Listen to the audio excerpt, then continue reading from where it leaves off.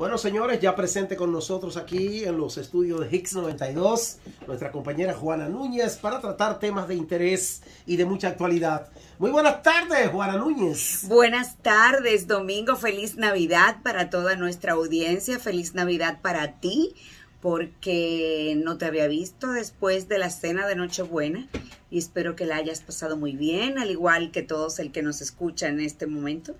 Sí, feliz de recibirte, feliz de recibirte y estar contigo por aquí. Creo que hay muchos temas de interés que la gente quiere que podamos debatir aquí, analizar, ¿no? Muchísimos temas. A propósito, ¿se ha perdido la esencia de la Navidad con relación a tiempos pasados o estamos y preservamos esa tradición? No se queda. Eh, la gente no pierde el, deseo de compartir ni las reuniones familiares. Muchas cosas han cambiado, algunos hábitos, algunas costumbres de Navidad. Eh, van cambiando porque el mundo simplemente va cambiando, pero la gente todavía, la familia, hay algo en el espíritu de la Navidad que es especial y es que las personas eh, se juntan para intercambiar regalos. Hay una celebración interna, la alegría que se siente con la música, con las luces, con la decoración. Todos esos elementos hacen que las personas empiecen a sentirse diferente. Y ese sentir diferente conecta a la gente de la alegría. Eso todavía permanece. Y no importa dónde estén, porque ahora que no se pueden juntar muchas personas, que no hay muchas fiestas, se hacen de manera virtual y la tecnología ha ayudado en este momento en la distancia a poder mantener el vínculo familiar a pesar de que muchas personas hayan faltado a la cena. Eh, publiqué en mis redes sociales, mi gente de Facebook, le puso un videíto porque yo en estos días de Navidad me lo paso en casa de mis padres que viven cerca de la playa y desde allí con mi traje de baño puesto estuve transmitiendo y hablando de esas sillas vacías que muchas casas tienen en esta Navidad. Ustedes perdonen la, el ruido porque esto aquí es así de loco. Y hablando de esas sillas vacías, porque muchos, muchos familiares se han perdido o no se han perdido, pero han trascendido a otro plano, ya no están con nosotros en el plano físico. Bueno, me va a excusar, pero quiero aprovechar esta oportunidad porque he hecho una conexión con una de las superestrellas de la canción dominicana de todos los tiempos. Señores, qué feliz me siento de estar hablando aquí de forma moderna, ¿no? Con esta tecnología, con mi hermano Fausto Rey, el Rey Nietzsche. Fausto Rey. Un saludo para la gente de Domingo Latino, Fausto.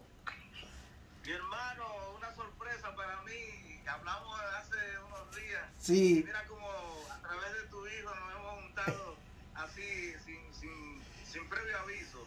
Un abrazo para ti, para todos tus oyentes.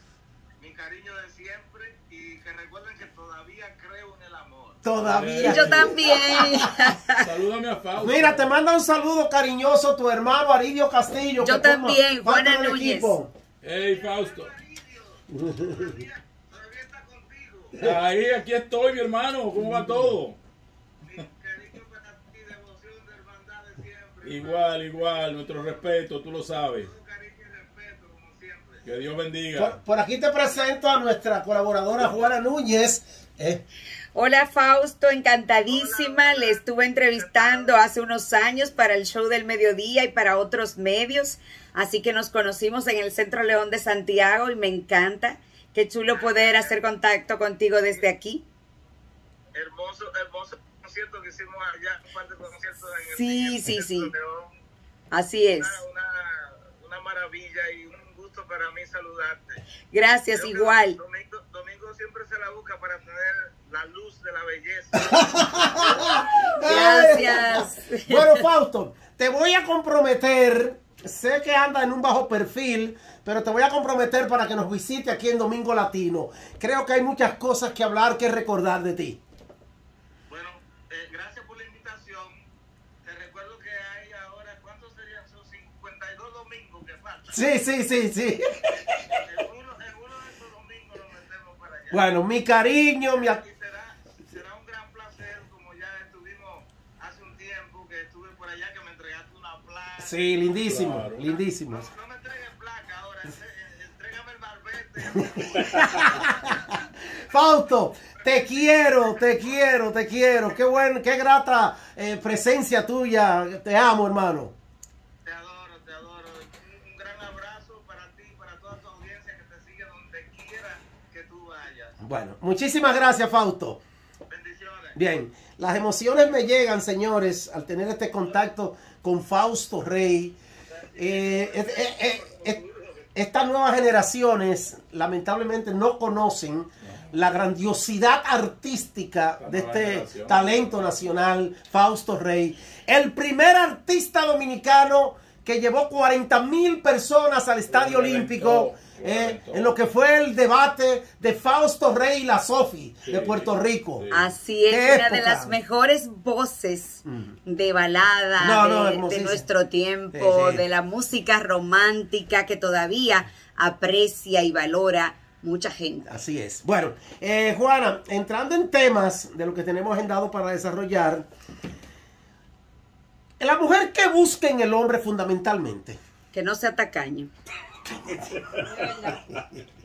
A la mujer le gusta el hombre dadivoso. Le gusta el el hombre dadivoso, pero no es el hombre dadivoso que le dé sin nada a cambio, sino un hombre con el que ella pueda contar. Y muchos de mis videos ahí se generan mucha, muchos comentarios porque la gente entiende que es buscar un hombre que te supla y que las mujeres están ahí para resolverse la parte económica sin hacer nada. Se trata de que las mujeres les gusta tener cerca un hombre con el que puedan contar, porque las mujeres son muy hacedoras.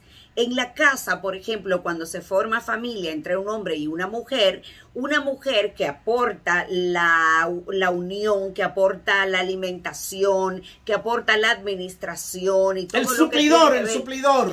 busca que este hombre, que con este hombre no le falte la parte económica, la parte que viene de afuera, de la calle, para ella poder quedarse nutriendo tanto eh, teniendo los hijos como administrando el hogar. Esto es una información arcaica. No es lo que se da en la actualidad ni es la manera de vivir en este tiempo, porque la forma que tenemos del consumismo ha llevado a relacionarnos de una manera diferente.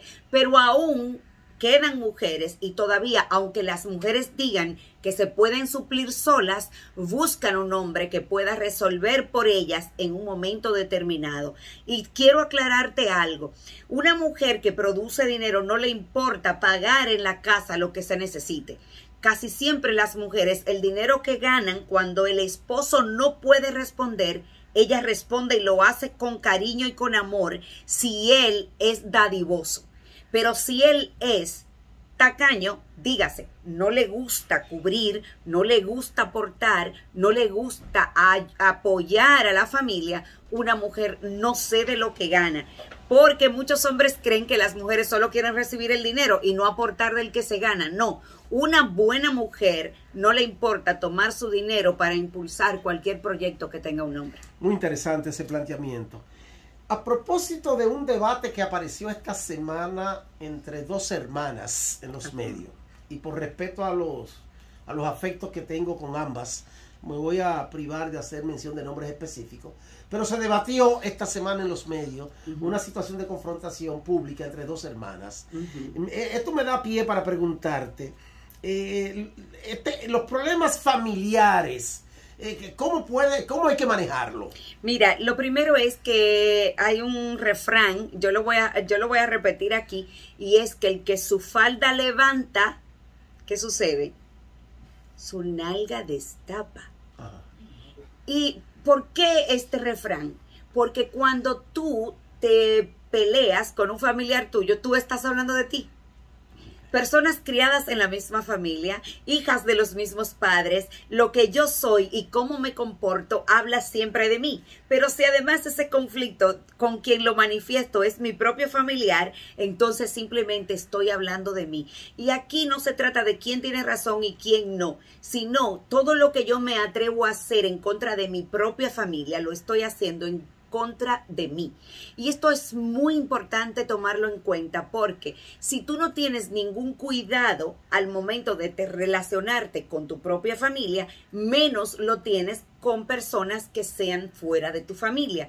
Y no es que los conflictos no surjan. Dentro de la familia también surgen conflictos. Y no importa, hasta en las mejores familias surgen los conflictos. Todas las, las familias tienen conflictos.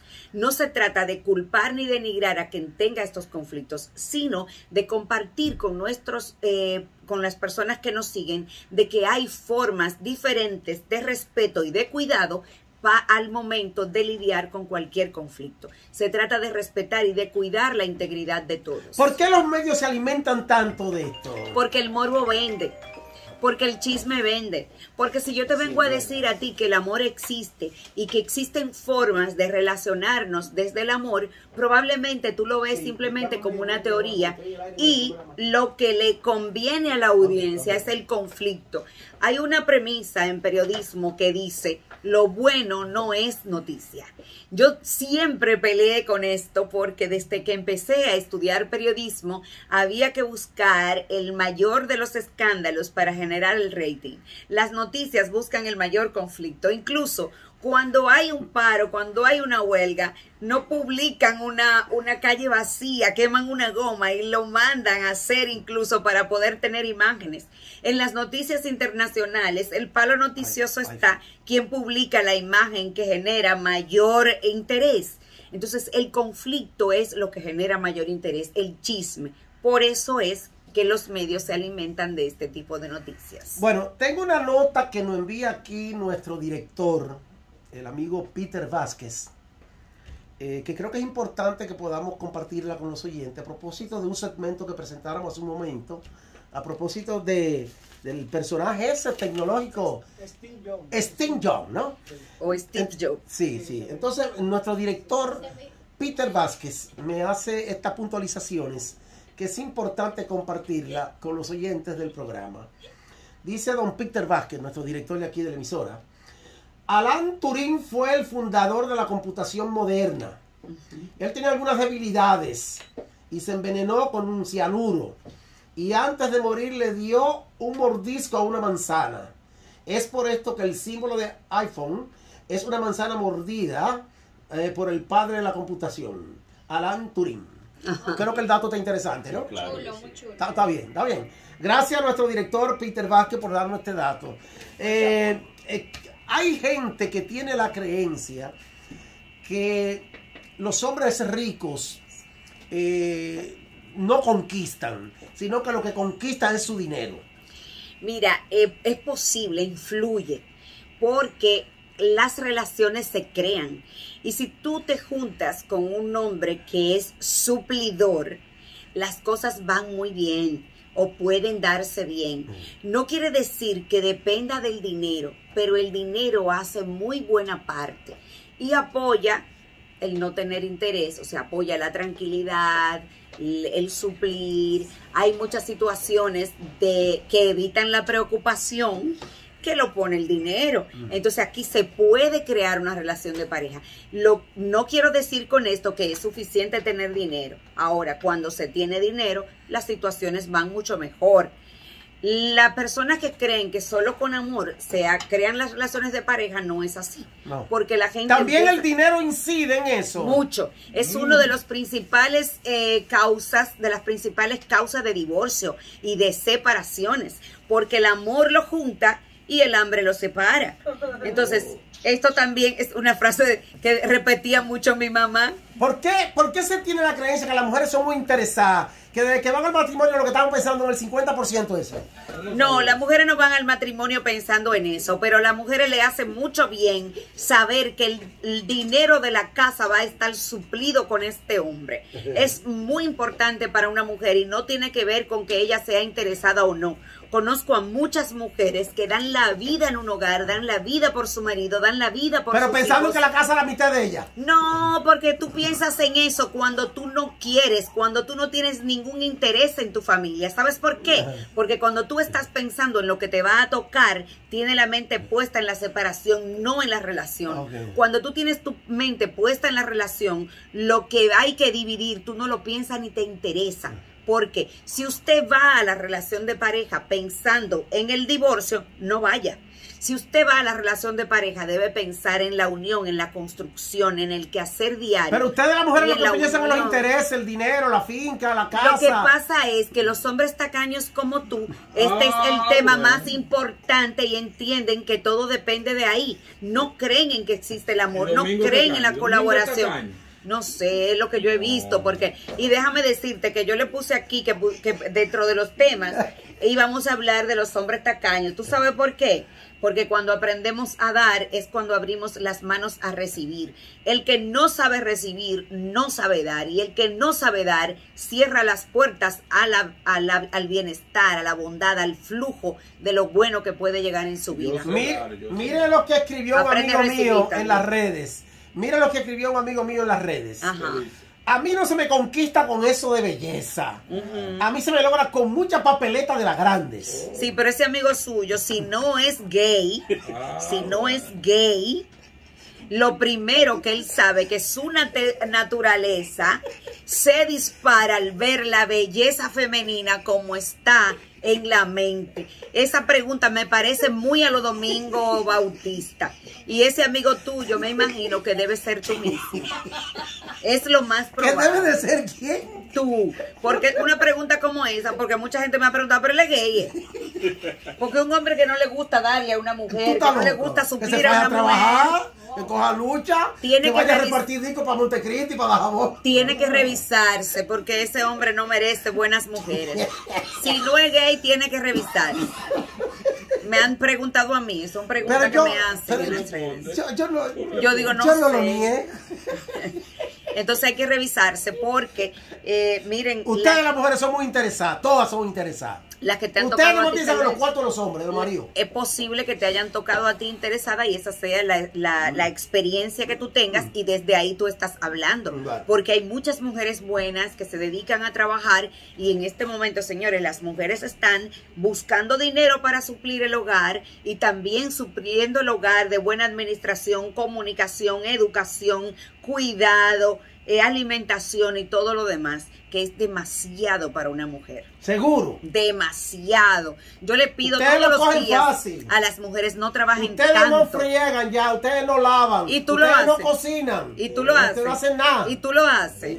Los hombres Yo pago los lo servicios. hacen. Yo Muy pago bien, los pues servicios. siga pagando servicios. pago. Entonces, cuando usted no colabora con una mujer, y no se trata de colaborar tampoco, No se trata de que usted también que ensucia debe limpiar. Y si usted no puede porque usted tiene un trabajo muy grande en la calle, entonces pague, está bien. Porque hay personas que su trabajo Pero es antes en ayudar. campo, en Moca, en la las mujeres lavaban, planchaban, cocinaban y atendían a su marido. Y su marido le suplía de todo lo que ella necesitaba porque es un asunto de equilibrio, de dar y recibir. Mira, te voy a decir una cosa. Ah, el A mí no me el importa. domingo quiere que lo mantenga. A mí no me importa limpiar, a mí me encanta limpiar, déjame decirte, y fregar, pero cuando yo tengo que irme a la calle a buscar el dinerito, que tengo que estar con el pelo arreglado, las uñas arregladas, yo no puedo ir a fregar. Porque es injusto para una mujer. Si usted está limpiando y usted está colaborando en el hogar, el hombre que está ahí debe suplir todas sus necesidades. Y además, que usted tenga tiempo para desarrollarse, desarrollar su inteligencia, su conocimiento, su propósito en la vida. Eso es lo que tienen que hacer. Que haga como yo. Ustedes ya no hacen- Yo ya- tengo tres trabajadoras a mi mujer en su casa. Muy bien. Tres. Muy bien. Mi mujer no tiene que lavar, no tiene que planchar, no tiene que cocinar, no tiene. Excelente. Aribio. Dice Guayón, lo. Gracias. Oh. Dice, hombres maridos. dice No, sí. Guayón, Ajá, ¿qué dice y Guayón? anda en las redes por ahí, que la mujer de antes era tejedora, Ajá. hacía majarete, Ajá. Sí. hacía dulce. Eso Y que no la mujer de ahora lo que, que pide chicharrón de pollo para llevar. Sí, claro, porque antes, antes las mujeres no estaban participando en el mercado laboral, en el mercado productivo como lo hace hoy. Así que déjate de cuenta. Bueno, contacto con Juana Núñez. Quiero decirles que estoy en el 809-696-0669. Gracias a mi gran comunidad de Facebook que ha crecido muchísimo. Gracias a la gente de YouTube.